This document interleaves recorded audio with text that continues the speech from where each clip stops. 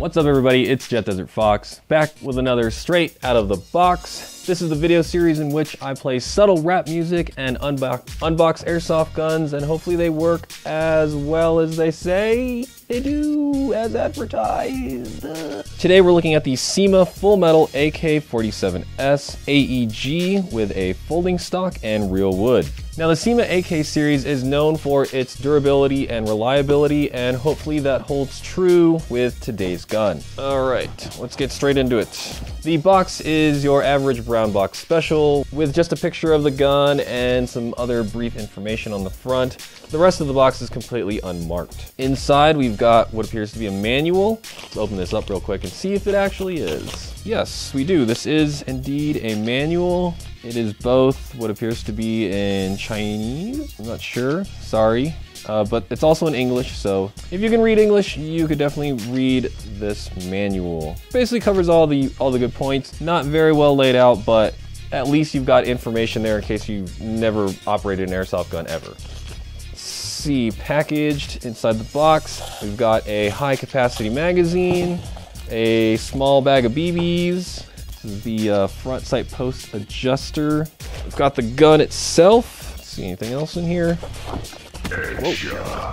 A dejamming rod. Oh, nice. There's foam on both ends of the box, on the bottom and on the top. Nice. I like when companies do that instead of just putting foam on the top or what they think is the top because you know it can get squished from the bottom too. Piece of plastic here dividing the wood furniture from the folding stock so it doesn't get scratched in transport. Let's start with the magazine. Uh, there's some BBs in here. Uh, I did test fire this at, the, at evike.com before I bought it, uh, just to make sure it shot. But other than that, it was just a brief like, take it out, fire around, okay, the BB came out. So this is basically my first impression of it coming out of the box. But there's some BBs in the magazine. What's nice about starting off with an AK as your first airsoft gun is the high capacity magazine is 600 rounds. So that's quite a bit, especially if you're just playing like a backyard game or a pickup game somewhere. I don't think you're gonna go through 600 rounds in the span of about 15 minutes unless you're Rambo. Getting an AK as your first gun kind of takes away some of the other stuff that you might need when you get an M4. So with an M4 you only get 300 rounds out of a high capacity magazine uh, that usually last about one game. But with an AK, you just, you know you're set for probably two to three games, depending on how you shoot, with just one single magazine, and you don't need to carry basically anything else. Just eye, pro eye protection and your gun, and you're good. Let's take a look at the gun itself. The feel of the gun is really sturdy. Uh, the wood has a really nice finish to it. The steel folding stock, yeah, that is hefty.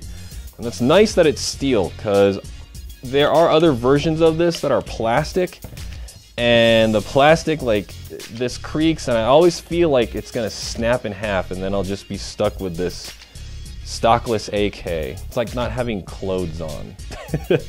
Moving on. Okay, the battery compartment. Battery compartment is gonna be up here in the upper receiver and there is a decent amount of space. Uh, obviously, one of the biggest problems with AKs is finding batteries that fit in this upper receiver. Uh, my suggestion right now, if you're looking for a battery, is a 7.4 lithium ion Titan that, that will fit nicely in this AK. That's probably the battery that I'm gonna use. Today for testing though, we're gonna use an 11.1. I wanna get, I, I basically wanna use the highest voltage when testing these, just so that way we can see what happens when you max it out. Moving along, we have our selector switch right here. Uh, this AK platform is gonna be just like any other AK platform. It's probably one of the more basic ones with the wood furniture, so there's not really that many things to cover. The selector switch, safe, full auto, and then semi. Moving the charging handle back reveals our hop-up slider. This is a slider style hop-up that comes standard in all AKs. Now one of the problems that I don't like about slider hop-ups is if this little tiny screw here is loose or it's or loses any kind of pressure between it and the slider itself, then your hop up tends to wiggle around as you fire, so you're constantly adjusting the hop up. Now the quick fix for that is to unscrew that little screw there and add a small O-ring, and then the O-ring provides enough friction to hold the slider in place while you're firing. The outer barrel is full metal, and on the front, we have our federally mandated orange tip. All right, on the other side, we have a single sling attachment point. The button to fold the stock under is also located here. It's this button right here. You just push it in, take the butt pad of the stock, kind of move it forward, and then lower it down. And now this is ready to be used in a tighter configuration or more easily transported. It's actually the main purpose of the folding of a lot of folding stocks in smaller guns or full-size assault rifles is so that way if you transport it more easily. We've got our lever style magazine release and trigger. And that's pretty much it. It's just kind of your basic AK. The real question is how reliable is this gonna be and how well is it gonna shoot? Let's hook up our 11.1 and we're gonna dry fire this. I'm gonna point this into a safe direction. Uh, let me get some iPro on. It's been a minute since I did a straight out of box. Sorry, I feel like I'm messing this up for everybody. My bad. Okay, we got iPro, AG pointing in a safe direction. Take the gun off safe. Let's fire. Should be semi. Yeah. Sounds good, sounds good. Okay, full auto. Full auto's good. There's a lot of power. I can feel a lot of power in this mech box. It's shaking a lot, which is also a good sign. All right, so the test fire that well. The gun sounds really solid. It doesn't sound whiny, doesn't sound like it's gonna die. So let's head outside, grab the chrono, and set up some targets and give this thing a test fire. We've got our CYMA AK loaded up with Elite Force 0.25 gram BBs. First shot through the chrono, didn't read. 393 at 1.8 joules.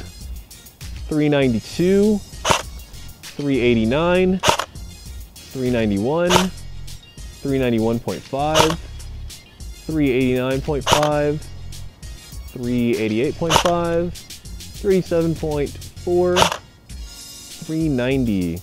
All right, some really good consistency out of the AK-47. All right, test fire time with the CYMA. Once again, these are Elite Force 0.25 gram BBs shooting at our evike.com can targets. Now I'm not aiming and this is completely unadjusted hop up.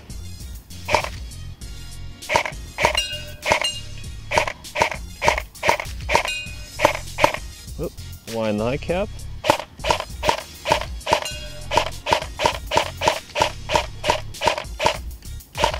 Now this is not the gun, this is just me missing. Bam, got it. Shoot it for some distance. Now unlike the previous AK that I got, the hop up appears to be doing its job. All right, let's try full auto now. Should be good. High cap skips a little bit. Let's give it a nice big wind, see if it still skips.